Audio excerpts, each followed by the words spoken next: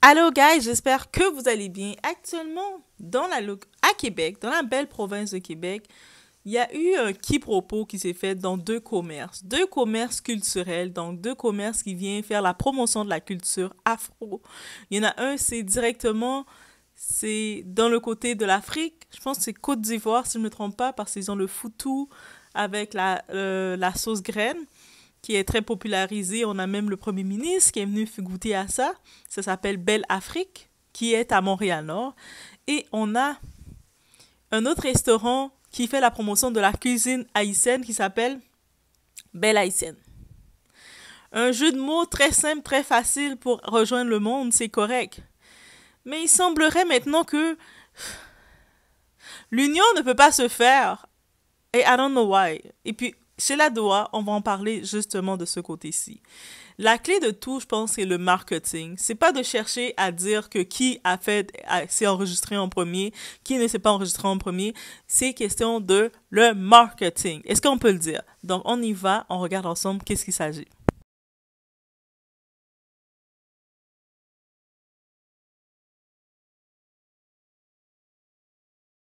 Bonjour. Ma famille et moi, nous avons pris l'initiative de fermer la belle haïtienne, vu tous les mauvais commentaires à l'égard de notre restaurant. Non, non, non, non. Non, non, non, non, non, non, non. C'est faux. Le but de cette petite vidéo-là, c'est juste pour éclaircir la situation qui se passe sur TikTok présentement. La Belle Haïtienne, c'est un restaurant haïtien situé à Trois-Rivières. J'ai bien dit, un restaurant haïtien. L'histoire derrière la Belle Haïtienne. En 2022, ma, famille- et moi, nous avons pris la décision de déménager à Trois-Rivières. Arrivé à Trois-Rivières, il n'y a aucun restaurant haïtien. On a pris l'initiative d'ouvrir un restaurant haïtien grâce à l'idée de ma grande sœur qui est derrière moi, Linda Laurent, qui a toujours l'esprit d'entrepreneuriat, elle m'a dit, Fabina, on sait cuisiner, pourquoi ne pas prendre les cours et ouvrir un restaurant à Trois-Rivières? 2022. J'ai immatriculé mon entreprise le 10 juin 2022 et l'entreprise est en vigueur depuis janvier 2023. J'ai passé une année chez moi pour tester le marché, pour être sûr que je réponds vraiment aux besoins des clients, soit haïtiens, africains ou québécois. Après une année, on a décidé d'ouvrir un restaurant physique. Mais, vous savez, vous, les Haïtiens qui, êtes sur TikTok, préparer la bouffe haïtienne, c'est beaucoup d'ouvrage. J'ai jamais, jamais eu vraiment le temps de créer un compte TikTok pour la belle haïtienne. J'ai ma nièce, Jenny, qui habitait aux États-Unis, qui m'a demandé, Fabina, pourquoi ne pas avoir un compte TikTok? Elle est venue me donner un coup de main parce que moi, je suis une femme vraiment, vraiment.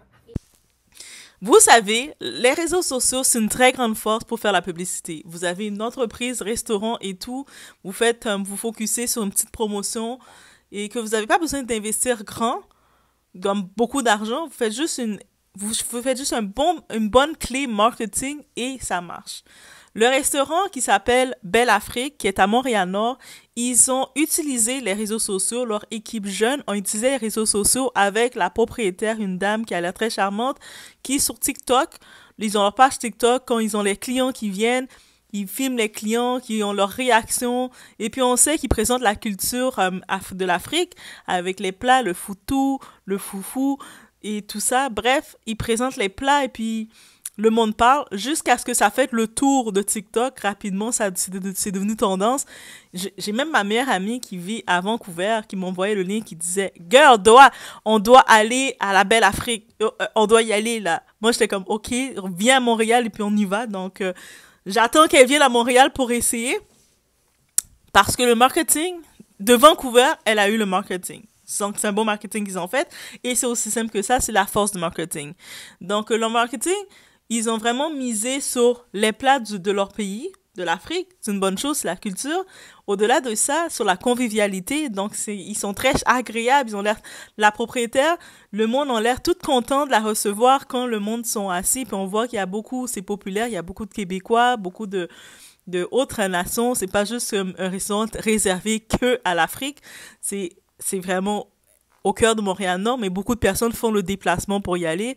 Il y a même, j'avais vu une vidéo où une famille, des enfants, ils regardent TikTok parce que tout le monde regarde TikTok et tout peut devenir une tendance facilement. Il y avait des enfants, une famille était, ils, sortaient de Saguenay, Lac-Saint-Jean, ils sont venus jusqu'à Montréal-Nord pour aller dans le restaurant. C'est pour ça que je veux dire, la distance, le- l'endroit où ce que vous faites votre business, c'est pas le problème. C'est le marketing. Et eux, ils l'ont compris, ils, ça fonctionne. Et on veut pas savoir qui qui s'est enregistré en premier ou pas. C'est deux secteurs différents et le nom n'a pas nécessairement d'importance.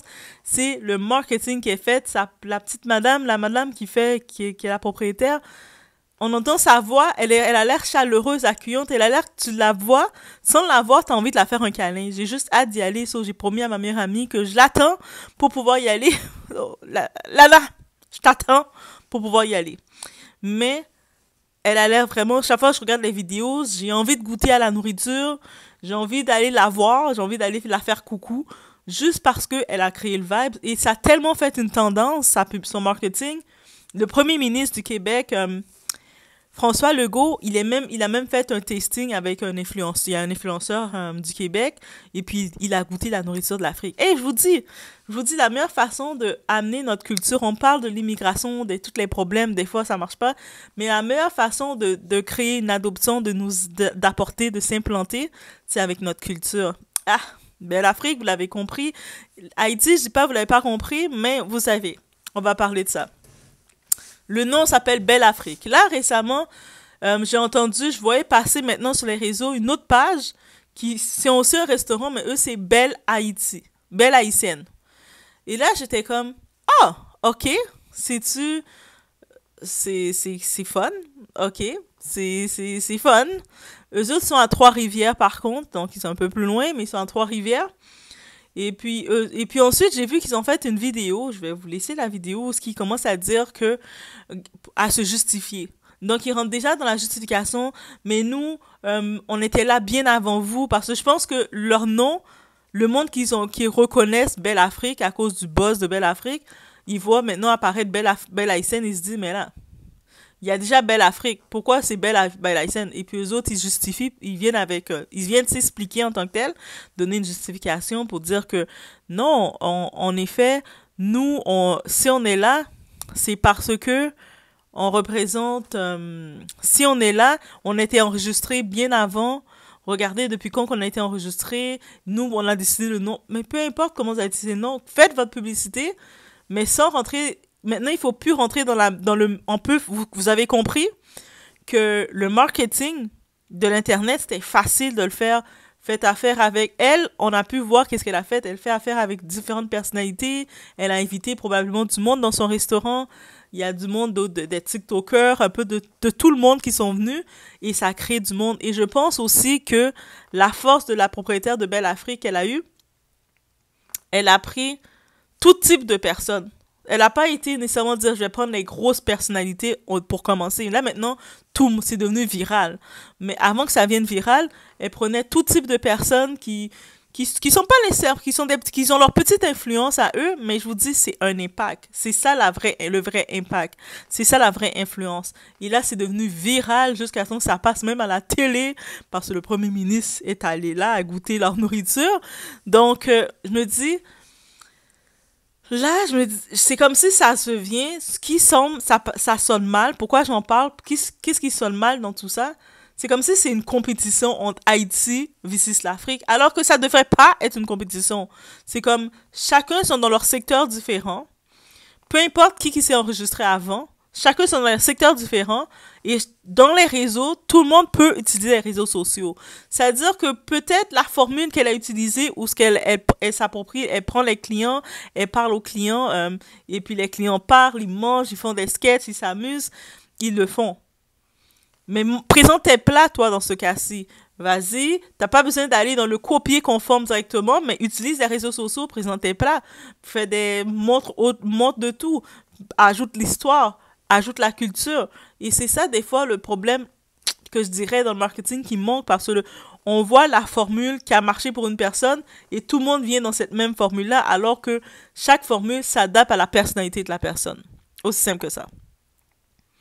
La petite dame, là, de Belle Afrique, elle a une personnalité que sa formule à elle fonctionne. Et je suis sûre que la dame, l'équipe qui font Belle Haïtienne, ils ont aussi leur personnalité, leur formule qui peuvent aussi engendrer beaucoup. Et le nom n'a pas d'importance. Ce qui, je me suis enregistré avant ou je me suis enregistré après, c'est deux plats différents, mais en même temps qui se ressemblent parce que c'est la nourriture afro. On sait la banane pesée, ça se ressemble. Bref, c'est sûr c'est des nourritures différentes, c'est deux, cultures différentes, en même temps, on se rapproche, ça fait toujours un plus. Et c'est un plus, ça crée un plus, et c'est comme ça qu'il faut le voir. Malheureusement, j'ai le sentiment que le monde, euh, je vois dans les commentaires, c'est ah mais vous avez, vous voulez les copier. Mais non, c'est pas une question de vouloir copier quoi que ce soit. C'est deux, c'est mets différents. Donc euh, c'est sûr quand vous allez prendre du foutou à la Belle Afrique, vous allez peut-être pas avoir le plat de griot de, de Belle Haïtienne. Donc euh, par contre, c'est ça se rejoint parce que c'est la culture. Et c'est ça qu'il faut regarder. Et puis moi, qu'est-ce comment je le vois, c'est la force des choses. Donc euh, Belle Afrique, c'est implanté à Montréal-Nord. Ils prévoient peut-être, je sais pas s'ils vont en mettre d'autres succursales. Il me semble qu'elle disait ça dans une vidéo. Belle Haïtienne est à Trois-Rivières. Elle est dans sa clientèle, elle fait son chemin et elle prend sa présence en ligne parce que moi, je vois, dans les deux cas, ils ont compris, les deux promoteurs, ils ont compris l'élément clé on peut faire notre publicité en ligne. Parce qu'il y a beaucoup de commerces encore qui oublient que oui, tu dois faire ta, tu dois faire ta publicité en ligne. Si tu peux pas le faire toi-même directement, et il y a des fois des, des personnes autour de toi, soit plus jeunes ou des personnes qui sont un peu plus branchées, mais offre-les, donne-les un contrat pour venir gérer ça, pour venir le faire pour toi. Et invite-les, crée des slogans, crée des thématiques. Et tu vas voir aussi, ça va grandir. Et puis, c'est juste, dans tous les cas, je veux féliciter les deux entreprises. Oui, les noms se ressemblent. On va se dire que l'une a copié l'autre. Personne n'a copié personne. Les deux sont là pour la culture au Québec. Est-ce que c'est pas beautiful? Donc, ça veut dire qu'on retrouve autant de l'Afrique, et je pense c'est Côte d'Ivoire, on retrouve autant de Haïti, et les deux peuvent partager le même nom. Et pourquoi pas? On partage le même nom. Oui, on a les mêmes ancêtres. On partage le même nom. C'est correct. Et je pense que ça peut même faire des partenariats. On peut, ils peuvent même lancer des challenges. Moi, si moi je serais poussée entre elles, ces deux managements-là, j'aurais été poussée parce qu'ils sont dans deux secteurs différents. Et ceux qui, sont de Trois-Rivières, euh, si vous faites un tour, euh, vous faites un tour à Trois-Rivières et puis vous donnez le nom Belle Afrique, vous allez avoir un discount de 10% avec, euh, vous allez avoir un petit plat d'entrée chez, chez Belle Haïtienne. Ceux qui sont à Montréal-Nord, vous, vous faites un tour, vous donnez un code, vous donnez le, code de Belle Haïtienne à Belle Afrique. On peut même faire des jeux comme ça ou créer des concours, des partenariats. Moi, je pense que c'est cette union-là qu'on peut profiter de créer, mais dans tous les cas, qu'est-ce que je veux dire? On ne doit pas s'arrêter sur le nom. Je sais que certains commentaires, le monde essaie d'aller créer une compétition qui ne, devra, qui ne doit pas avoir lieu. Dis-moi qu'est-ce que vous en pensez, mais ça ne doit pas avoir lieu. Donc, c'était tout ce que je voulais vous dire. Dans tous les cas, je vous vous êtes au Québec, il y a beaucoup de cultures. Il y a la culture, que ce soit de, des Antilles, que ce soit de l'Afrique, que ce soit de partout, de l'Asie, de partout. Et c'est beautiful. Le monde n'a même plus besoin de voyager pour avoir de la culture. Est-ce que c'est pas beautiful ça? Donc, je vous laisse sur ce et on se voit au prochain vidéo. Le restaurant de Montréal-Nord, La Belle Afrique, a récemment connu un immense succès sur TikTok avec des centaines de milliers de vues par vidéo. Nous sommes allés rencontrer la femme derrière ce fameux compte TikTok et restaurant, Christine Umpati. Arrivé au Canada en 2018 seulement. C'était quoi le processus pour ouvrir La Belle Afrique? C'est quand que vous avez ouvert le restaurant? Le restaurant a ouvert le 10 juin 2023. Quand je suis rentré au Canada, j'ai même pas pensé à ouvrir un restaurant un jour là. Mais mon conjoint m'a sollicité. Il me posait toujours la question, ton rêve, je sais que c'est la cuisine. Est-ce que tu aimerais toujours continuer là-dessus? Je dis, mais oui, bien sûr. Il dit, ah, ok, va chercher une bonne école de cuisine et puis tu vas y aller et on va voir ce que ça va donner après. Ah, si quelqu'un voit quelque chose à moi, pourquoi pas toi, mais tu le vois pas. Est-ce que vous vous attendez à ce niveau de succès avec votre compte TikTok? Non, pas du tout. Je pensais pas que ça allait être rapide comme ça. En quoi ça a changé votre restaurant, votre vie de tous les jours au travail? Ça a changé beaucoup d'affaires. Les gens viennent de l'eau pour manger ça. Ça me touche tellement que les gens, ils ont entendu parler, voient la vidéo, ils savent même pas ce que c'est. Trois heures de route, deux heures de route pour venir ici. L'autre fois, j'ai reçu une groupe là, ils se sont habillés en costume de cravate pour que Belle Afrique. On a évidemment goûté au foufou sauce graine et c'était tout un délire.